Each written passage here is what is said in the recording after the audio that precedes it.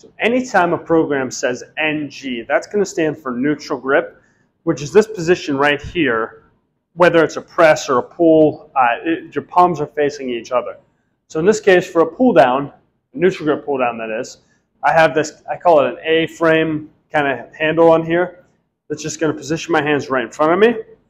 So we're going to set our uh, chin-up bar, or our, our pull-down machine, that is, with this knee anchor here, in a position where you can keep your feet flat, but have your legs firmly locked under this anchor.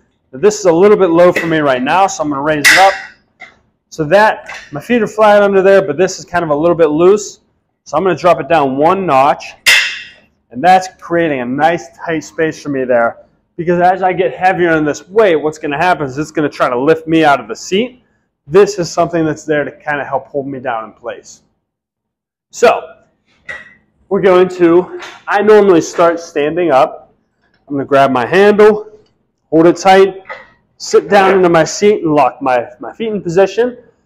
Now for my pull down, as always with our pulling motions, we're going to initiate it by retracting our shoulder blades and then following through with our elbows after the fact. We extend back out, we stretch it up, shoulder blades, elbows. And now what's, what you're going to see here is that as I do this, this is a vertical pull. And what I, what I see a lot of people have a tendency to do is that as they pull down, they lean way back like this and you really turn it from a, a, vertical pull into more of a horizontal pull, almost like a seated row here. What we're training, in this case, is our lats, which are these muscles that help us pull up and make our back a little bit wider.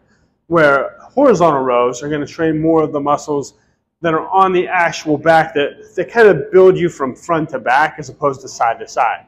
So think pull downs, vertical pulling, width, and horizontal pulls, thickness, front to back, or depth.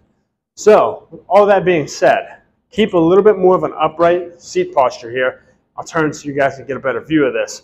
But I'm going to pull down, I'm going to lean back just a little bit to bring the handle to my, to my upper chest, right below my chin. But I'm not leaning way back here, pulling to my stomach. So again, lock my feet in, shoulder blades, elbows come down. I'm driving my elbows towards my hips, which is going to help activate my lats a little bit more. I stretch back out. I let everything out to stretch the whole way. Shoulder blades, elbows. And then when we're done, just to set the weight down and stand back up. That is a neutral grip pull down using the H-shaped bar. You could do the same thing with a wide bar like this, doing a, a pronated grip like a pull-up, or you could do the same thing underhand. It doesn't matter. There may be video companions for those later, but for right now, most pull downs, the positioning, the movement is exactly the same.